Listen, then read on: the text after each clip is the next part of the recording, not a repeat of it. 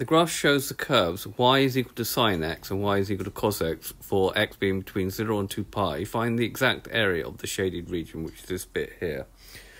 Right, first of all, we've got to identify which one is cos and which one is sine. So this one here is sine, and this one here is cos. Before we can set up the integral, we need to find the uh, x coordinate of that point and the x coordinate of that point.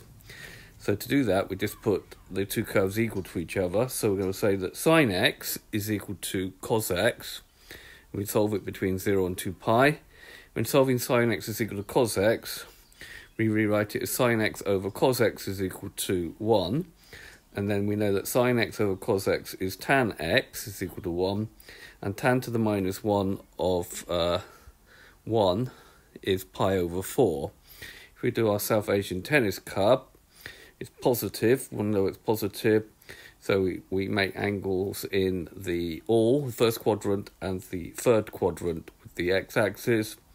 And therefore x will be pi over 4 and pi plus pi over 4.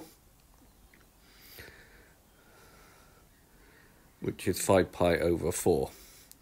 Right, so redrawing the graph. Okay, so that point's pi over 4 and 5 pi over 4. Now the one on the top is the sine graph. So we need to do the integral from pi over 4 to 5 pi over 4 of sine x, which is minus cos x. We don't need to worry because it's straddled over the, the axis. It's always just going to be the top one, the curve on the top, minus the other one. If you do it the other way around, you'll get a negative answer.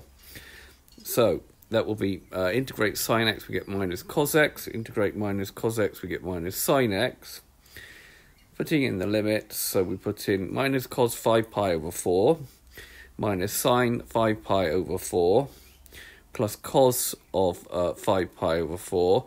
It's, it's plus because we're going to have minus minus here, and then we're going to have minus times another minus, which is sine over 4. Leave two thing here positive, positive. Now, cos of 5 pi over 4 is minus root uh, 2 over 2, but we've got a minus sign in front, and then sine of 5 5 by 4 is also going to be minus, so that will be minus minus, we'll make it plus root 2 over 2. These are going to be root 2 over root 2, root 2 over root 2, so we've got four lots of root 2 over 2, which gives me 2 root 2 square units. Notice here, we minus minus makes it positive. So the exact area of this shaded region will be 2 root 2 square units. Okay, this has been a video to show you how to find the area between two uh, trig graphs. I hope you've understood and I thank you very much for watching.